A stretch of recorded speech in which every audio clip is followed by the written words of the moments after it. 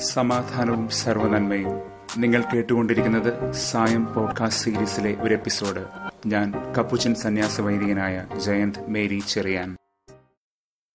അപ്പം വർദ്ധിപ്പിക്കുന്ന രണ്ട് സംഭവങ്ങൾക്ക് ശേഷം ഫരിസേയരുടെ ഹൃദയകാഠിന്യം നാം ഇന്നലെ കണ്ടു. ഇന്നും ഹൃദയകാഠിന്യമാണ് നാം കാണുന്നത് പക്ഷേ അത് ശിഷ്യരുടേതാണെന്ന് മാത്രം. ഫരിസേയരുടെ ഒരിക്കലും വഴങ്ങാത്ത ഹൃദയകാഠിന്യം പോലെയല്ല ഇത്. ഇവിടെ നാഥൻ പറയുന്നത് കേട്ട് മനസ്സ് മാറാൻ ശിഷ്യർ പരിശ്രമിക്കുന്നുണ്ട്. മർക്കോസ് എട്ട് പതിനാല് മുതൽ ഇരുപത്തൊന്ന് വരെ. നാദനും ശിഷ്യരും വഞ്ചിയിൽ കയറുകയാണ്. സുവിശേഷകൻ പറയുന്നു അവരുടെ കയ്യിൽ വഞ്ചിയിലുള്ള ഒരപ്പമല്ലാതെ മറ്റൊന്നും ഉണ്ടായിരുന്നില്ല എന്ന്. എട്ട് പതിനാല്. തൊട്ടടുത്ത വാക്യത്തിൽ എട്ട് പതിനാറ്. അവരുടെ കയ്യിൽ ഒരപ്പം പോലും ഇല്ലായിരുന്നുവെന്ന് നമുക്ക് മനസ്സിലാകുകയും ചെയ്യുന്നുണ്ട്. അപ്പോൾ വഞ്ചിയിലുണ്ടായിരുന്ന ആ ഒരൊറ്റ അപ്പം ഏതാണ്? അത് ജീവന്റെ അപ്പം തന്നെയായ ക്രിസ്തുനാഥൻ തന്നെയാണ്. അവൻ അവരോട് ഒരു ചെറിയ ഉപമ പഠിപ്പിക്കുകയാണ്. ഫരിസേയരുടെയും ഹെറോദേസിന്റെയും പുളിമാവിനെ സൂക്ഷിക്കുക എന്ന്. പുളിമാവ് എന്നത് വിശുദ്ധ ഗ്രന്ഥത്തിൽ ദുഷ്ടതയുടെ സ്വാധീനത്തെ കുറിക്കുന്ന ഒരു വാക്കാണ് പൊതുവെ. പുളിപ്പില്ലാത്ത അപ്പത്തിന്റെ വ്യത്യസ്തമായ രുചി പേർന്ന പുറപ്പാട് സംഭവത്തിന്റെ ഓർമ്മയും അതുണർത്തും പെസഹ കുഞ്ഞാടിന്റെയും പ്രത്യേകിച്ച് യഥാർത്ഥ പെസഹ കുഞ്ഞാട് ക്രിസ്തുവാണെന്ന് തിരിച്ചറിവ് കൂടിയുണ്ടെങ്കിൽ. പുറപ്പാടിന്റെ മരുഭൂമി അനുഭവങ്ങളിൽ ഇസ്രായേലിന്റെ ഹൃദയത്തെ മതിച്ചിരുന്ന തിന്മയുടെ ദുരാശകളുടെ കനലിളക്കങ്ങളെ സൂചിപ്പിക്കാനും പുളിമാവ് എന്ന ഈ പ്രയോഗം ഉപകരിക്കും.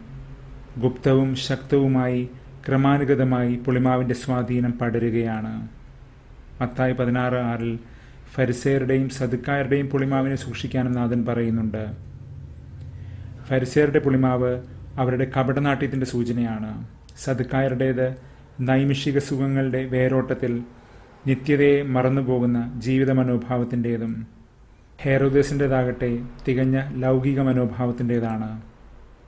അപ്പോഴും ശിഷ്യർ ചിന്തിക്കുന്നത് തങ്ങളുടെ അടുത്ത നേരത്തെ ഊണിനെക്കുറിച്ചാണ്. അവരുടെ കയ്യിൽ അപ്പമില്ലെന്ന കാര്യം. നാഥൻ ഏഴ് ചോദ്യങ്ങൾ അവരുടെ നേരെ ഉതിർക്കുകയാണ്. നിങ്ങൾക്ക് മനസ്സിലാകുന്നില്ലേ? ഗ്രഹിക്കുന്നില്ലേ? കാണാനാകുന്നില്ലേ? കേൾക്കുന്നില്ലേ? അനുസ്മരിക്കുന്നില്ലേ? നിങ്ങളുടെ ഹൃദയം കഠിനമാകുന്നുണ്ടോ? നിങ്ങളുടെ കണ്ണുകളും കാതുകളും എവിടെ എന്നൊക്കെ. തന്റെ മഹനീയമായ അത്ഭുതങ്ങൾ കണ്ടിട്ടും അപ്പമേറെ തിന്ന് വിശപ്പടങ്ങിയിട്ടും അവർ അടുത്ത നേരത്തെ ഊണിനെക്കുറിച്ച് മാത്രമാണ് അവലാതിപ്പെടുന്നത് പന്ത്രണ്ട് കുട്ടയാണ് ഒരിക്കൽ ബാക്കി വന്ന് നിറഞ്ഞ അപ്പം. പിന്നീടാകട്ടെ ഏഴ് കുട്ടയും. ഇസ്രായേലിന്റെ പന്ത്രണ്ട് ഗോത്രങ്ങളുടെയും വിജാതിയരുടെ ഏഴ് രാഷ്ട്രങ്ങളുടെയും സൂചനകളാണിത്. അവർ രണ്ടും ചേർന്ന് സകല ലോകവും ഒരേ പന്തിയിലിരുന്ന് ഒരേ അപ്പം ഭക്ഷിക്കുന്നതിന്റെ സുവിശേഷ സുഗന്ധം പേർന്ന വാക്കുകളാണിത്. മക്കളുടെ അപ്പം.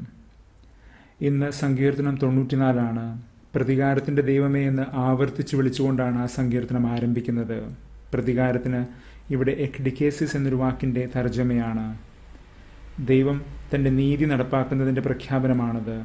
അല്ലാതെ കൊലവെറി പോകുന്ന ഒരു പ്രതികാരവാഞ്ചയല്ല. നമ്മുടെ സംവേദനങ്ങളെ ധാർമ്മിക തലത്തിലേക്ക് ഉയർത്തുകയാണ് ഈ സങ്കീർത്തനം. ദൈവത്തോട് പരിഭവം പറയുകയാണല്ലോ ഈ സങ്കീർത്തനം. കണ്ണുകൾ നൽകിയവനും കാതുകൾ ചമച്ചവനും ജ്ഞാനം പകരുന്നവനുമായ ദൈവം മനുഷ്യന്റെ അകൃത്യങ്ങൾ കാണുന്നില്ലെന്നാണോ? സങ്കീർത്തനം തൊണ്ണൂറ്റിനാല് ഒമ്പത്. ഇന്ന് നാഥൻ ശിഷ്യരോട് ചോദിക്കുന്നത് ഇതിന്റെ മറുപുറമാണ്. കണ്ണുണ്ടായിട്ടും നിങ്ങൾ കാണുന്നില്ലേ? കാതുണ്ടായിട്ടും നിങ്ങൾ കേൾക്കുന്നില്ലേ? നിങ്ങളുടെ ഹൃദയം കഠിനമാകുന്ന വഴികൾ. ദൈവം നീതിമാനാണ് അവൻ സർവദാ നീതി പാലിക്കുന്നു നീതി തേടുകയും ചെയ്യുന്നു. അവൻ നമ്മെ ഒരിക്കലും തിന്മയിലേക്കും അനീതിയിലേക്കും വഴി നടത്തുന്നില്ല. അവൻ നമ്മുടെ നീതിയുടെ വഴികളെ പരിശോധിക്കുമ്പോൾ അത് നമ്മുടെ വിശ്വാസത്തിന്റെ പരീക്ഷണമായി മാറുന്നു. ഇന്ന് യാക്കോബ് ശ്രീഹായ്ക്ക് ഇതിനെക്കുറിച്ച് കുറേയധികം പഠിപ്പിക്കാനുണ്ട്. യാക്കോബ് ഒന്ന് പന്ത്രണ്ട് മുതൽ പതിനെട്ട് വരെ. ഇന്നലെ യാക്കോബ് ശ്രീഹ പറഞ്ഞിരുന്നല്ലോ ദൈവം അനുവദിക്കുന്ന പരീക്ഷണങ്ങൾ പെയ്റാസ്മോസ് ടെസ്റ്റിംഗ് അത് ആനന്ദകാരണവും രക്ഷയുടെ നിധാനവുമാണെന്ന് ക്ഷമയോടെ അത് സ്വീകരിക്കുന്നവർക്കാണെന്ന് മാത്രം. ഇന്ന് യാക്കോബ് ഒന്ന് പന്ത്രണ്ട് പറയുന്നു ദീർഘക്ഷമയോടെ പരീക്ഷണങ്ങളെ നേരിടുന്നവൻ ഭാഗ്യവാനെന്ന്. ഈ ഭാഗ്യാവസ്ഥ മക്കാരിയോസ് എന്ന് പറയുന്നത് സമുന്നതമായ ദൈവിക ബന്ധത്തിന്റെ സൂചനയാണ്. വെറും ഭൗതികമായ ആനന്ദം ഹാപ്പിനെസ് മാത്രമല്ല അത്. പരീക്ഷണങ്ങൾ ഉണ്ടാകുമ്പോൾ അത് നമ്മുടെ ഹൃദയത്തെ ഉലയ്ക്കും ഹൃദയത്തെ പിളർത്തും വിശ്വാസമില്ലാത്ത പക്ഷം ആ പിളർപ്പ് ഒരു ഇരട്ടത്താപ്പായി മാറും. ഇന്നലെ നാം കണ്ടതുപോലെ ഡിസൂക്കോസ്. മനസ്സിന്റെ ഈ ഉലച്ചിൽ സംശയങ്ങൾക്കും കാരണമാകാം. അപ്പോൾ നമ്മൾ ദൈവത്തെ പഴിചാരിയെന്നും വരാം. ദൈവം എന്നെ പരീക്ഷിക്കുന്നത് കൊണ്ടാണ് ഇതൊക്കെ സംഭവിച്ചത് എന്ന്. ശരിയാണ് ദൈവം പരീക്ഷിക്കാറുണ്ട്. അബ്രഹാത്തെ പരീക്ഷിച്ചതുപോലെ ഇസ്രായേലിനെ മരുഭൂമിയിൽ പരീക്ഷിച്ചതുപോലെ. പക്ഷേ ഇന്ന് സങ്കീർത്തനം തൊണ്ണൂറ്റിനാല് വിളിച്ചപേക്ഷിക്കുന്നത് പോലെ അവൻ ഇതേ ഇസ്രായേലിന്റെ യാക്കോബിന്റെ ദൈവമാണ്. അതിനാൽ തന്നെ അവന്റെ പരീക്ഷണങ്ങൾ പാപത്തിലേക്കുള്ള പരീക്ഷണമല്ല ടെംപ്റ്റേഷൻസ് ക്ഷമയോടെ അതിനെ പുൽകുന്നവർക്ക് വിജയകിരീടം നൽകുന്ന ദൈവിക പരീക്ഷണമാണ്.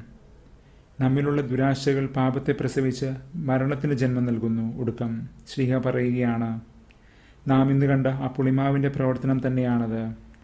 ആശകൾ അതിനാൽ തന്നെ പാപമല്ല പക്ഷെ അത് ദുരാശയാകരുതെന്ന് മാത്രം. ഒടുക്കം ദുരാശകൾ വിടർന്ന് അത് സൂക്ഷ്മമായി പാപത്തെ വിരിയിക്കും. പാപം മരണത്തിൽ കലാശിക്കുകയും ചെയ്യും. ആധ്യാത്മികവും ശാരീരികവുമായ ഒരവസ്ഥയാണത്. പാപം പ്രക്ഷുബ്ധമായ മാരകമായ തിന്മകളുടെ ആവേഗങ്ങൾക്ക് വഴിതെളിക്കുന്നു. ജീവിതത്തിന്റെ നേരത്തെ വിശപ്പുകൾ പോലും ഒടുക്കം വലിയ രുതിരകേളികളായി മാറുന്ന കാഴ്ചയാണ് നമുക്ക് ചുറ്റും. നമ്മുടെ വിശപ്പകറ്റാൻ ആ ഒരൊറ്റ അപ്പം മാത്രം മതി. ജീവിതത്തോണിയിൽ നമുക്കായി കാത്തുവച്ചിരിക്കുന്ന ആ ഒരൊറ്റ അപ്പം.